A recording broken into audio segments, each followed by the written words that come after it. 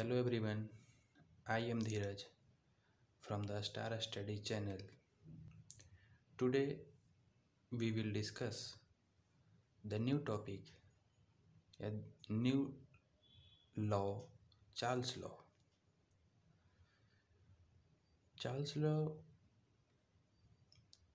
describe the relations between volume and temperature of ideal gas.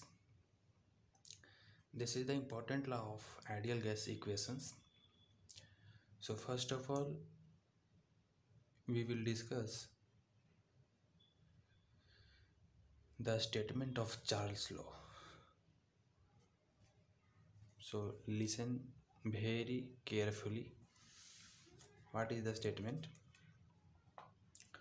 For a fixed amount of gas, for a fixed amount of gas at constant pressure, for a fixed amount of gas at constant pressure, volume occupied by the gas, volume occupied by the gas is directly proportional to temperature of the gas is directly proportional to the temperature of the gas on absolute scale of temperature. Absolute scale of temperature means means temperature taken in the kelvin scale या ideal gas scale fixed amount of gas करने का मतलब gas का moles fix कर दिया गया है that is n and constant pressure constant pressure मतलब मोल्स फिक्स है और गैस का पे एग्जर्ट होने वाला प्रेशर भी कांस्टेंट है। So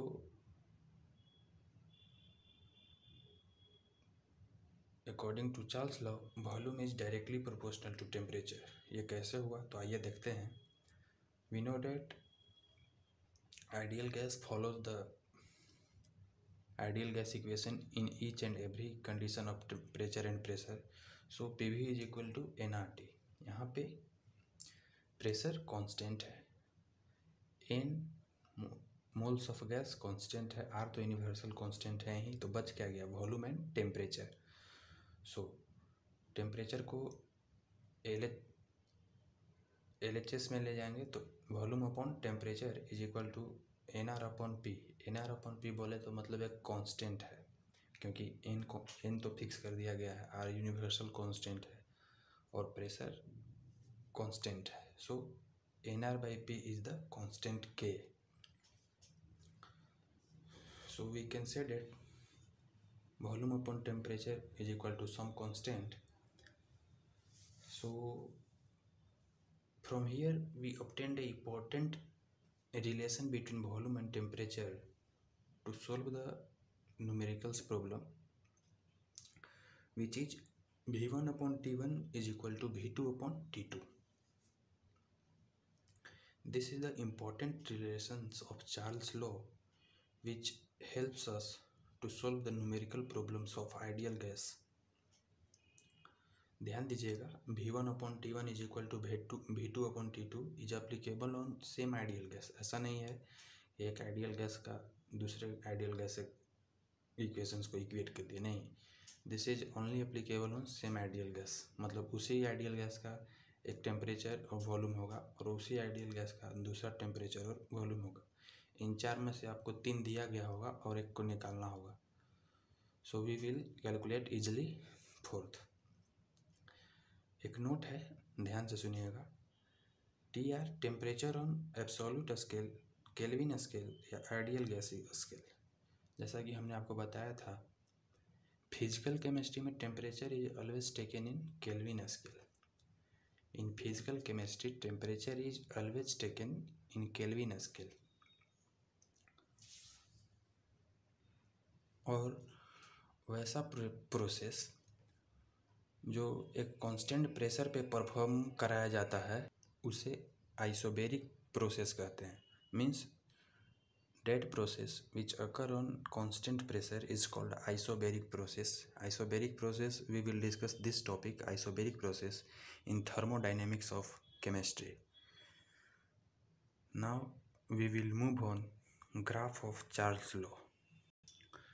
Now comes to the graph of Charles law first graph is volume versus temperature so we know that pv is equal to nrt pressure को R H S में ले जाएँगे तो volume is equal to n R by P into T तो हमें V versus T का graph बनाना है यानी y is equal to n R by P क्या है इसे एम मान लीजिए V is equal to m T so we got a relation y is equal to mx y is equal to mx this relation is, is a relation of a straight line so we got a straight line graph between volume and temperature ध्यान दीजिएगा यहाँ से एक numericals बन सकता है आपको M दिया हो स्लोप दिया होगा भी वर्सेस टेम्परेचर के ग्राफ में आपको स्लोप दे दिया गया होगा और आर तो यूनिवर्सल कॉन्स्टेंट होता है, वो तो हमेशा आपको और पता ही होता है। और एन और पी में से हमें कोई एक डाटा दिया गया होगा और आपको कोई एक निकालना होगा। तो from here we got a numericals questions ना second graph is pressure versus temperature तो जैसा कि हम सभी जानते हैं कि चार्ल्स लॉ में प्रेशर ऑलवेज कांस्टेंट सो आप टेम्परेचर के साथ जितना भी छेड़छाड़ करना चाहते हैं, आप कर लीजिए। परंतु प्रेशर तो उसका कांस्टेंट ही रहेगा। So we got a relation